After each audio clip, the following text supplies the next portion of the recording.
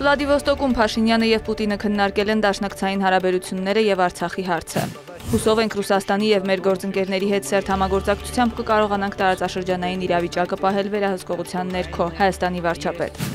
ՄԱԿ-ում Հայաստանի ներկայացուցիչը գլխավոր ասամբլեայի ֆորումի մասնակիցներին ասել է, որ Ադրբեջանը մերժել է վերադարձնել հայ գերիներին։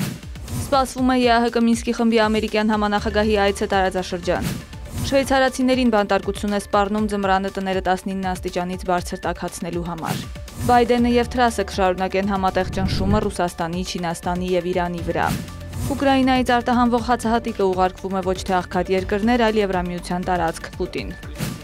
Ռուսաստանն ահաբեկչությունը հովանավորող պետությունների ցուցակում չներառելու մասին ամերիկյան վարչակազմի որոշումը վերջնական է, Սպիտակ տուն։ Ռուսական ուժերի վերահսկողության տակ գտնվող Զապորոժիեի ատոմակայանը վնասվել է գնդակոծությունների հետևանքով, Ռաֆայել Գրոսի։